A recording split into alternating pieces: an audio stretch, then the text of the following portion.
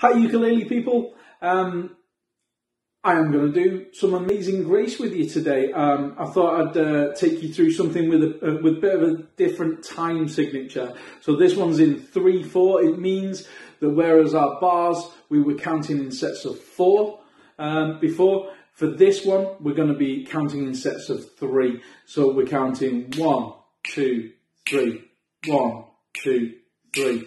That's the only real difference. That's the only thing that you won't be used to. Um, we're going to use the same three chords that we've been using, C, F and G. And there is a picture of the sheet um, that you can check out. I think my camera is reversing things, so um, if you can read that backwards, you're very clever. Um, but we're going to give this a go. The secret practicing this, as always, is go as slow as you need to. So the difference, the difference between your strums when you're not changing chord and the difference between your strums when you are changing chord is the same. So do practice it nice and slowly. It's starting off, the first line is C, C, F and C. So we're doing two bars of C, one bar of F, and one bar of C. And again, each one of those bars is a count of three. So it goes like this. One, two, three. One, two, three. One, two, three. One, two, three. One, two,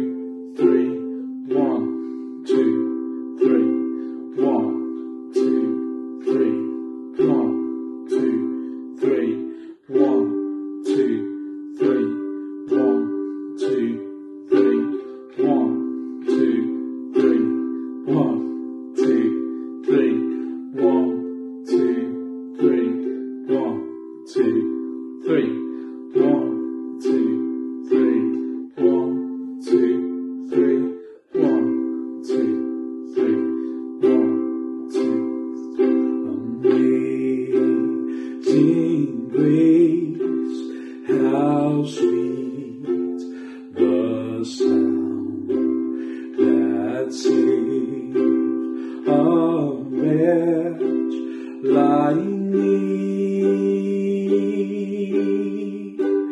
I once was lost, but now am found.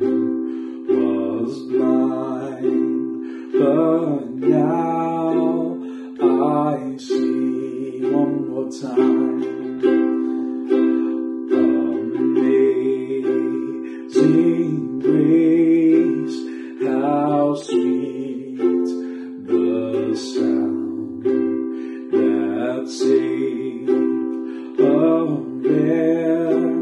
like me. I once was lost, but now am found. Was blind, but now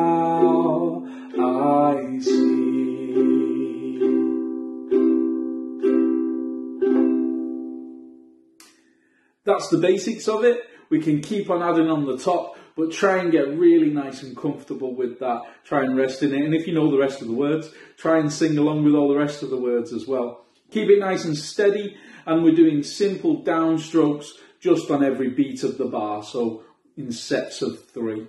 Uh, let me know how you're going on. Even better, give me a little video and show me how you're getting on. Hope to see from see you soon, hear from you soon as well. Um, and God bless you guys. Bye bye.